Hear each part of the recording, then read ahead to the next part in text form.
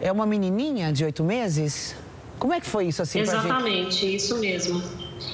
Eu vi ela, a mãe estava fazendo chapinha, né, com aquele aparelho ali e tinha uma extensão. A criança nem chegou a pegar na chapinha em si, mas foi na extensão, uma extensão que já era um pouco mais velha, tinha ali um pouquinho um descascado, né, e a criança pegou exatamente neste ponto, levando ali uma descarga elétrica e infelizmente morreu. Vamos é, é, ver agora até um vídeo gente, que foi gravado pelo delegado responsável por essa investigação.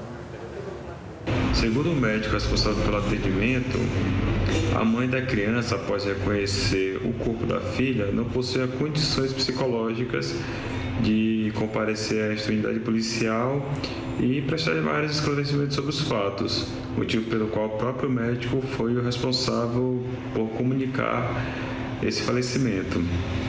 Diante de tais informações, de imediato a equipe policial de plantão solicitou exames periciais na criança e no local de crime, de forma a subsidiar a análise das circunstâncias em que teria ocorrido a morte dessa criança. Após o envio dos laudos periciais, a situação será melhor analisada e deliberada acerca dos próximos passos da possível investigação. É, mas nesse caso, né, Silvia, a gente já, já tem informações da própria polícia de que já foi averiguado que foi uma morte acidental.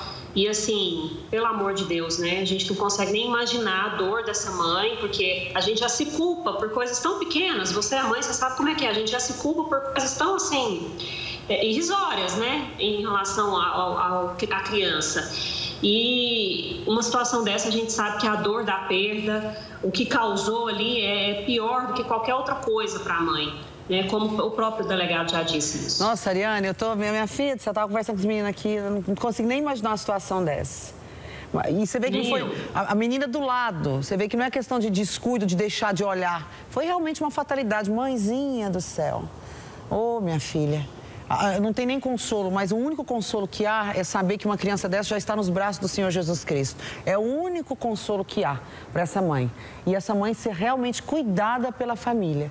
Porque a mãe ainda nem se recuperou na questão, sabe, psicológica, hormônios que vêm ali quando você ainda está com um bebezinho de colo. Mas Deus já protegeu essa mulher e vai colocá-la nos braços dele. Amém. Obrigada, Ariane, Amém. viu?